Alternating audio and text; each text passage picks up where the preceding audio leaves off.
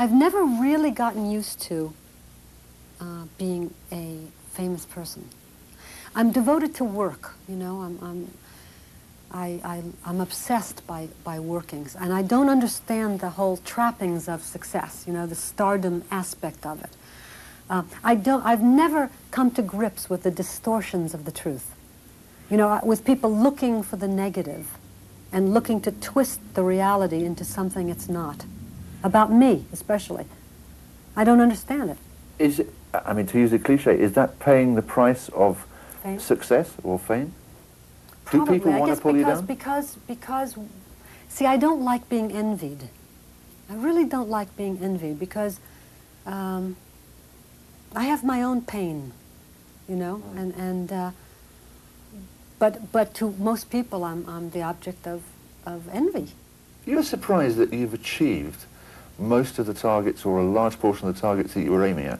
Do you ever sort of, in the privacy of your home, say, I don't believe it, I've done it? Oh yeah, I'm, I'm constantly in, in a state of wonder. You know, every time I, I go on the Warner's jet, I think, wow, like I'm flying in this private jet. You know, because I'm a movie star, I guess. You And know, when I mean, you're in- I, I'm always, I always think it's great. When you're in the stretch limo, do you sometimes think, well, I should be used to this by now, but hey, this is great? It. I am not used to it. I still think it's funny. You know, like I get a kick out of it. How do you relax away from it all? I mean, what's your form of relaxation? Do you swim up and down or read a lot, play tennis? I like to read. I, I, I'm trying to learn to have more fun. You know, I've always been afraid. My mother was always a person who instilled a great deal of fear in me. You don't ride horses, you don't ski, you don't go in the water, you don't dance ballet, you'll break your toes. So I'm fighting that. You know, I'm fighting my conditioning because these things are fun. You know, the, the gate opens and there's a busload of people like looking at you, you know, and I have to duck all the time. I'm always ducking, you know, because I get embarrassed. I mean, I do like privacy, you know, and, and that, that is, again, another price of fame. But it sounds odd to complain about it because most people are so much less fortunate than I am, you know, that my, my problems in that area uh, will not get any pity. So And do you that's okay.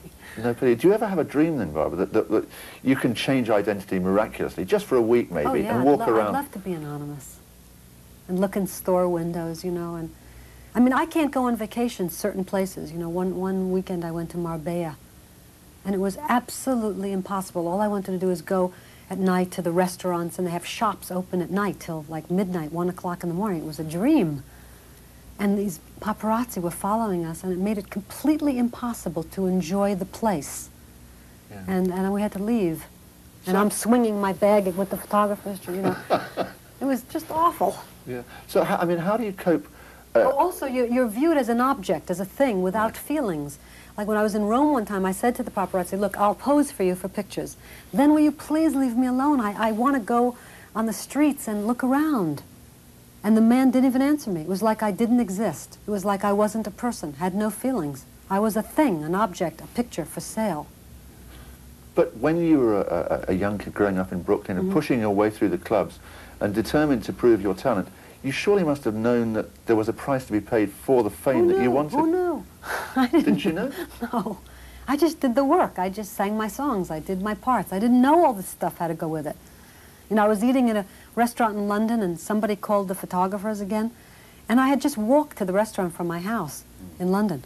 And uh, I couldn't believe this one. I came out the door, and as I was getting in the cab, the door was locked. The doors were locked. They had paid off the taxi cab driver to lock the doors. So I couldn't even get in the cab while they were taking my pictures, you know?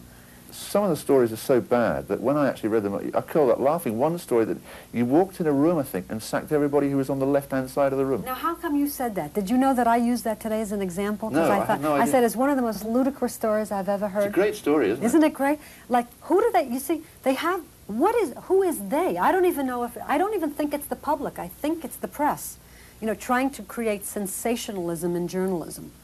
And, and it's like creating this person who is La Diva, you know, La Streisand, the, the power monger, mogul lady, uh, man eater.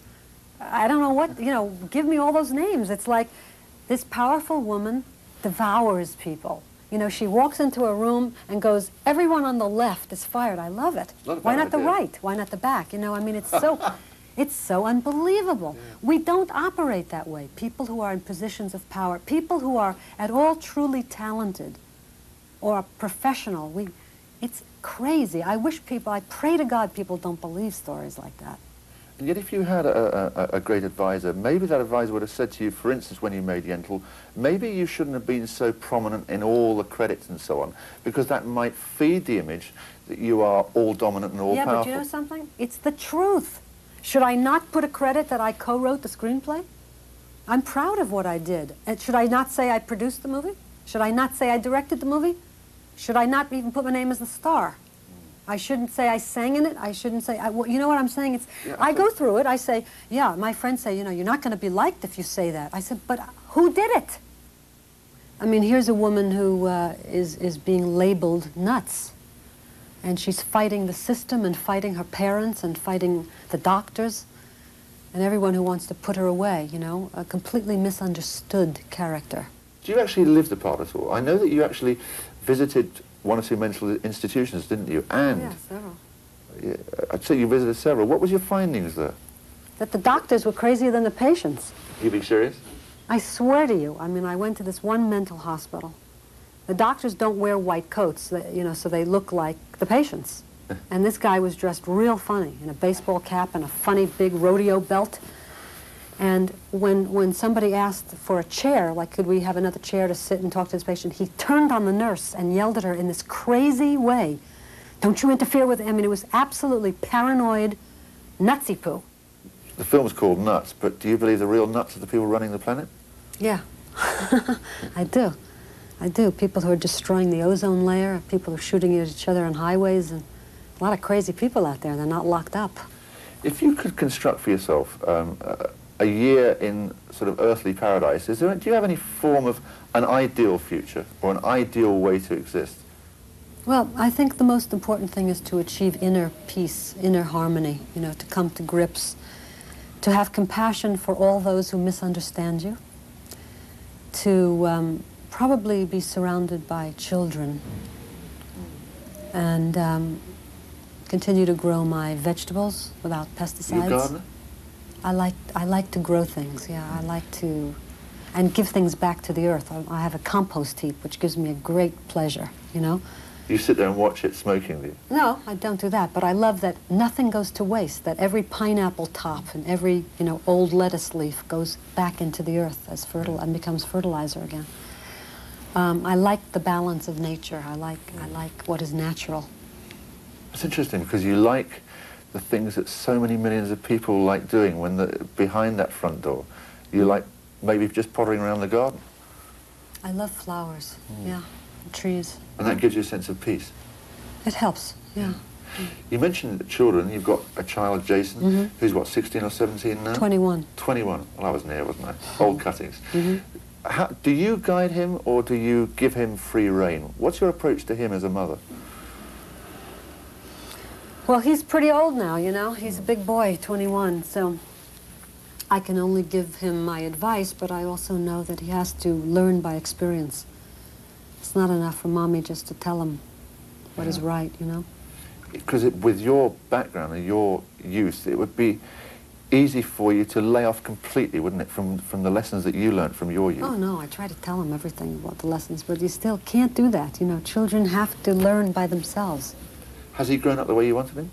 Oh, he's wonderful. Yeah, very. Uh, he's a beautiful human being, you know.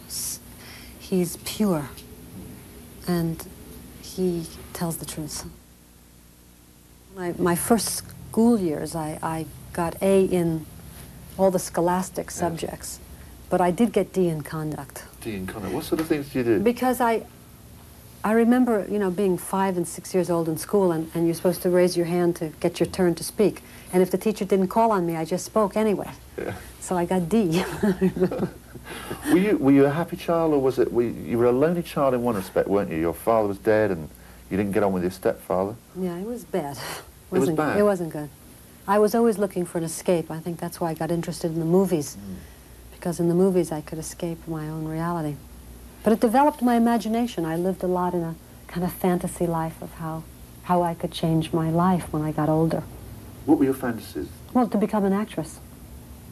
I wanted to be the people in the movies, though, not necessarily the actors and actresses. I wanted to be, you know, The characters. the characters, yeah, who fell in love and got married and were happily, you know, lived happily ever after. Is there, I mean, it's a nasty question, but is there any character even now that you look at and say, now that's what I'd love to be, or that's what I'd love to play even? Well, I've always wanted to play two Cleopatras, her as a child and her as a woman. I've always wanted to play Juliet. I guess I'm too old for that now. No, you're but. Why are you too old for that? but I still feel I could play her. I have a really good concept for her. But are you also described as the actress who sings. Is that the right way round? I think so.